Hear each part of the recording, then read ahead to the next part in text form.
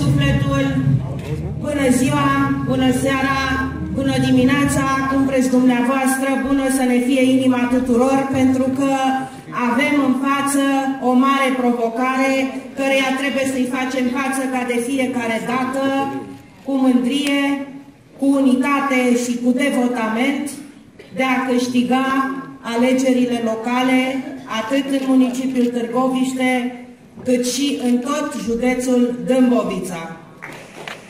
Sunt bucuroasă că astăzi am participat și am fost alături, nu numai de Cristian Daniel Stan, cât și de întreaga echipă care sunt convinsă că va, vă va onora echipă a municipiului Târgoviște cu care vom veni în fața târgoviștenilor.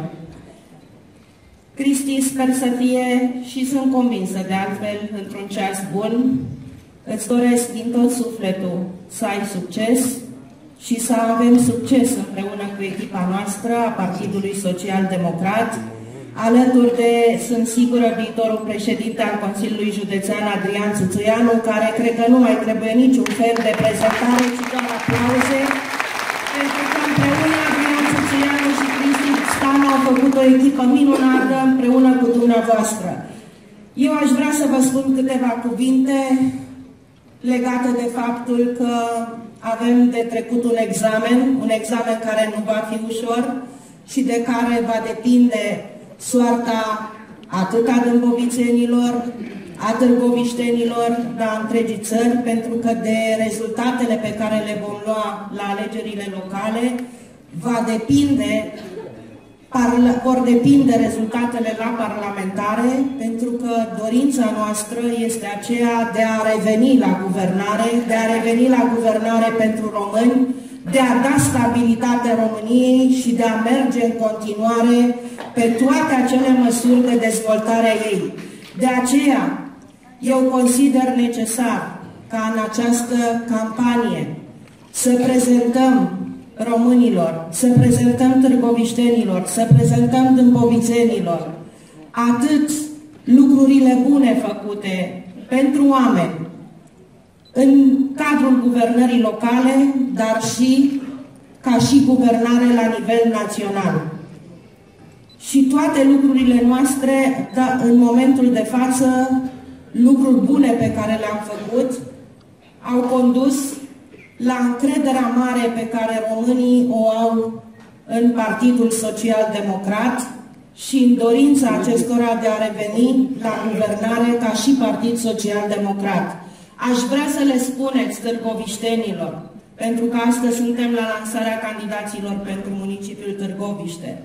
să nu uite că guvernul Partidului Social Democrat este cel care a reîntregit salariile, este cel care a mărit pensiile, este cel care a dublat alocațiile pentru copii, este cel care a avut grijă de mediul de afaceri, este cel care a creat peste 250.000 de locuri de muncă, este cel care are grijă de familiile tinere, este cel care a făcut codul fiscal și este cel care și acum în Parlament a avut grijă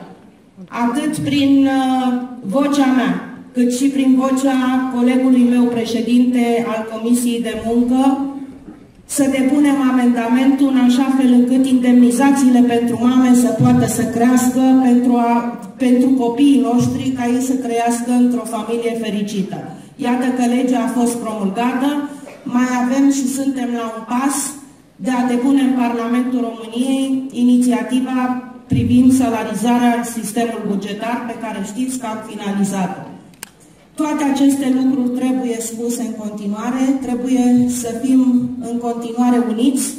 trebuie să dăm dovadă că suntem partidul care facem politica cea mai responsabilă față de cetățeni, vrem să în continuare să dăm stabilitate țării și să avem rezultate în ceea ce privește dezvoltarea. Eu nu pot decât să vă spun că voi fi alături de dumneavoastră ca și până acum, pentru că județul Dâmbovița înseamnă acasă pentru mine. Voi fi alături și voi ajuta în continuare cu tot ceea ce știu și ceea ce pot, așa cum Cristi Daniel Stan știu că știe, că poate și tot ceea ce va face împreună cu echipa o va face pentru că cu toții merităm să avem o viață mai bună. Să ne ajute Dumnezeu!